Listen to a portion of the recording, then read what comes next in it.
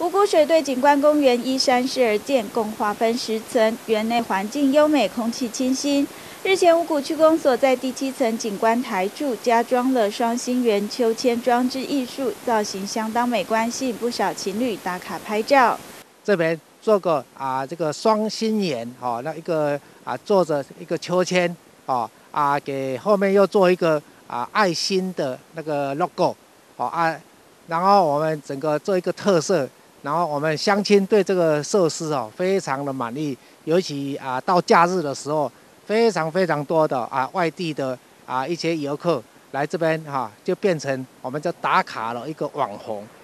水队里长邱江勇指出，由于公园上方正好是飞机航道，每天通往松山机场的飞机都会由上空飞过，加上此处视野开阔，因此将此称之为看飞机展望台。那个视线非常好。这个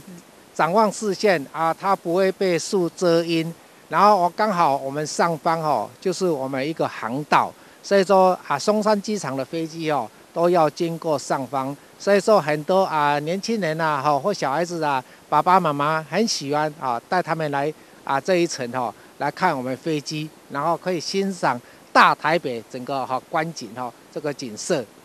秋江有里长表示，在水队景观公园这里，不仅可以看到许多飞机经过，还可以瞭望大台北地区，景色相当好看。每到假日时，更是许多民众争相前来赏景的地方。现今已成为地方网红地标。里长也呼吁，美好的环境设施，希望大家要共同来维护。记者胡宇轩五股采访报道。